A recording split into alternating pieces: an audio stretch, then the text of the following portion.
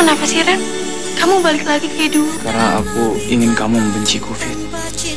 Kamu itu tidak akan pernah menjadi istrinya Farel. Ini kenyataan yang nggak bisa kamu pungkirin.